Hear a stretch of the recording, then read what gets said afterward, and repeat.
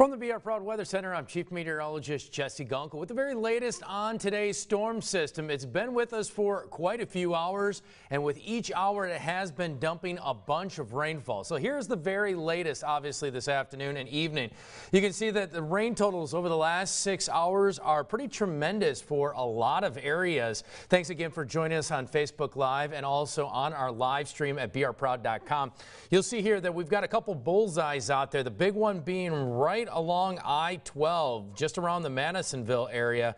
And you see here, again, these are just radar estimates between Covington, Madisonville, and then up towards the Folsom area, the possibility of nearly 8 inches of overall rainfall. We're getting reports of, again, I think 12 inches is a little bit high, but I'm getting closer. We are getting reports of 6 to maybe 8 inches of rainfall in some locations out there with areas such as Florida Highway getting flooded at this point. A lot of off ramps I-55 are currently closed due to flooding. So if you have to head early tomorrow morning, if you do have to head your way towards the east, well, expect to see a little bit of flooding just along the North Shore between Covington, Mandeville, and the Madisonville area. Um, I also want to show you again a little bit further out, and you can see that we've got a lot of heavier pockets even closer to us here. You can see just a little bit south of Killian, right along LA 22.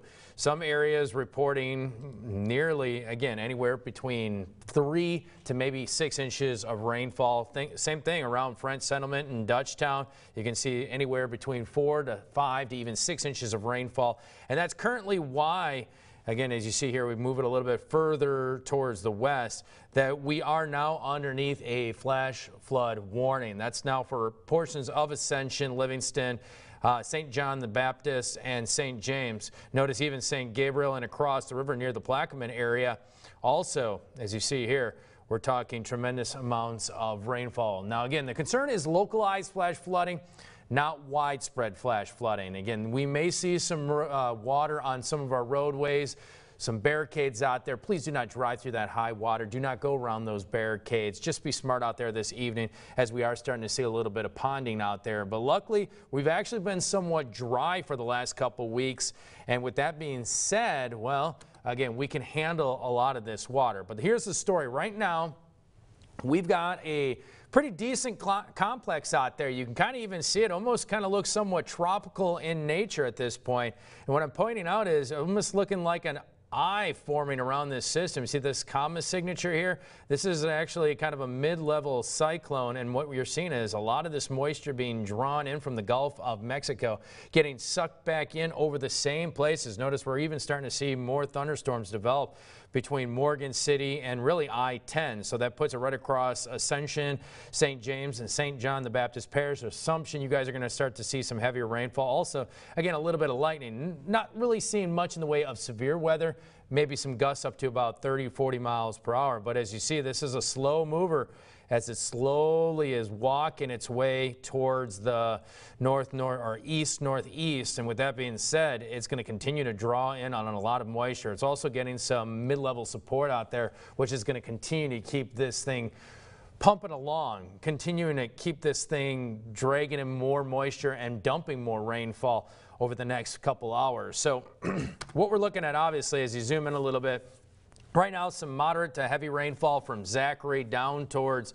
the 10-12 split. We're also seeing some uh, some of that heavier rainfall a little bit further north now, and you can see that also includes the Jackson area, uh, right around St. Francisville, some heavier pockets or bands in there. Also, again, around the Clinton area, you can expect some heavy rainfall, and this is going to continue. Again, the concern is localized flash flooding. Our rivers and our streams should be fine. I'm not too worried about the Amite and the Comite, even though I would say the rain is getting a little bit higher, at least the overall totals a little bit further east. So we're talking on the other side of I-55. So we could see some concerns for the Tangipahoa River and the Tchefuncte rivers, but I don't think it's that much of a concern, obviously, for the Amite. Now, as you see here, a little bit of heavy rainfall south of Vacherie, or Vacherie down towards the Thibodaux area. And you can see more storms moving into the Donaldsonville area all the way up into Laplace and I-10 towards the Sorrento area. And that really could continue for about another hour to two hours before the system finally starts to lift out of here because it continues really to be a very slow mover and we're really starting to see a lot of those thunderstorms kind of fill at the tail end. You can see all these thunderstorms a little bit south of Abbeville and down towards the Franklin area and towards uh, Morgan City and over towards Houma that are more storms are starting to build and make their way up towards the northeast. So that's something definitely we need to watch. So here's the very latest, obviously warning wise. The only warning that we currently have in place for portions of the viewing area right now, that is a flash flood warning.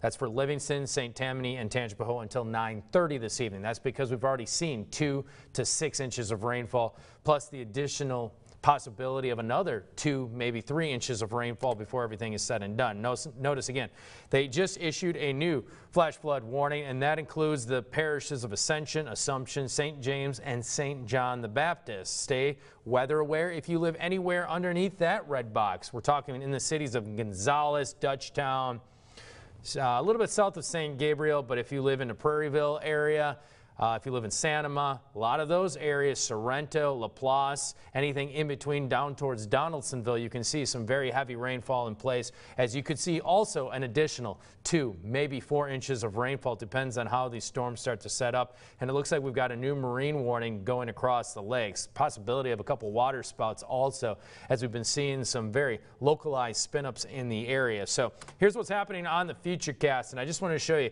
our models are indicating, this is our high resolution model, that a lot of these storms are going to start to lift out of here, hopefully by the time we get to about 10, 11 tonight. However, again, as you see on the big picture out there, that we still have some pretty decent concerns out there as this is a very slow mover. Again, showing you a little bit of a wide shot.